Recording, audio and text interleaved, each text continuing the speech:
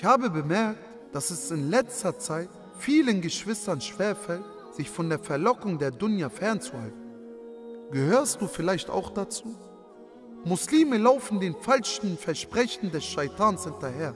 Der Kuffer, der sich breit gemacht hat, macht uns falsche Versprechen. Man sagt uns, dass wir unseren Herzen folgen sollen, dass wir tun sollen, was uns persönlich glücklich macht.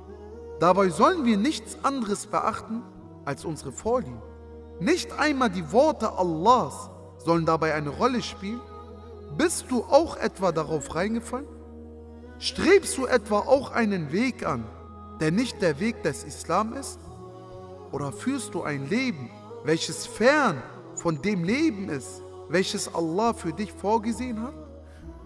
Wenn das der Fall ist, möchte ich dir sagen, wie lange noch? Es reicht. Allah hat dir doch alles gegeben.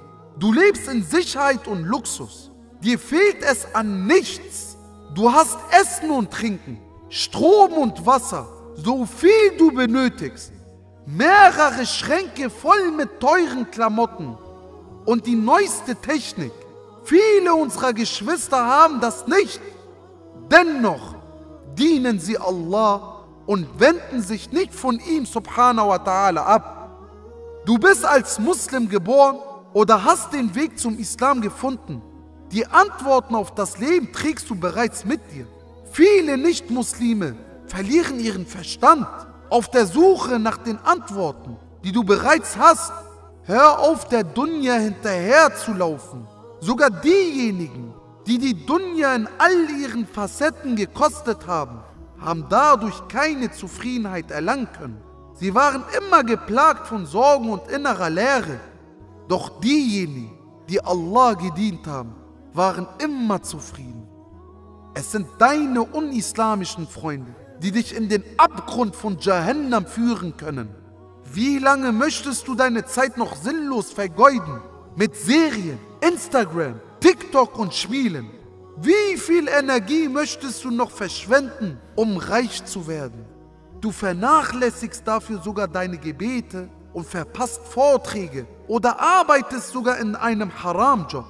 Deine Versorgung liegt doch bei Allah und wurde bereits 50.000 Jahre, bevor deine Seele überhaupt erschaffen wurde, bestimmt.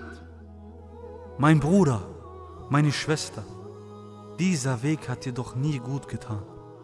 Du bist doch selbst nicht zufrieden damit. Egal wie schön eine Sünde scheinbar ist, egal wie sehr sie Spaß macht, du weißt selbst, dass es sich nicht lohnt. Ein paar Momente des verbotenen Genusses sind niemals die ewige Reue wert, die du haben wirst, wenn du Allahs Zorn erregst und im Feuer von Jahannam landest. Der Islam jedoch hat dir immer gut getan. Erinnere dich daran, wie du dich immer im Monat Ramadan fühlst, wenn du fastest.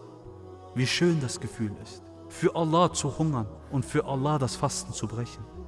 Die innere Ruhe, die du mit dem Hören und Lesen des Korans erlangst, bekommst du sonst nirgendwo. Die innere Zufriedenheit, nachdem du gebetet hast, ist doch das schönste Gefühl, was es auf dieser Welt gibt. Du weißt doch selbst, dass der Islam die Wahrheit ist. Allah hat alles erschaffen und Muhammad sallallahu alaihi wasallam mit seiner Botschaft an uns entsandt. Bist du einmal traurig, antwortet Allah der Erhabene im Koran, sei nicht traurig, Gewiss, Allah ist mit uns. Egal, was dich an Prüfungen und Erschwernissen trifft, Allah ist mit dir, mein Bruder. Allah ist mit dir, meine Schwester, und wird deine Probleme lösen über Wege, die du nicht erwartest. Brauchst du einen Rat oder ein Vorbild, zu dem du aufschauen kannst? Antwortet Allah subhanahu wa ta'ala dir. Ihr habt ja im Gesandten Allahs ein schönes Vorbild, und zwar für einen jeden, der auf Allah und den jüngsten Tag hofft und Allahs viel gedenkt. Kehr um und bereue bei Allah, denn der Tod kennt kein Alter. Der plötzliche Tod ist Realität. Du gehst jeden Tag schlafen und übergibst deine Seele Allah subhanahu wa ta'ala. Nur durch seine Erlaubnis kehrt deine Seele jeden Morgen zurück in deinen Körper. Also worauf wartest du? Kehr um, bevor die Tore zur Reue geschlossen sind. Kehr um, bevor dein Tag der Abrechnung beginnt. Nimm dir diese Worte zu Herzen, bevor es zu spät ist. Ein Ratschlag von deinem Bruder im Dien.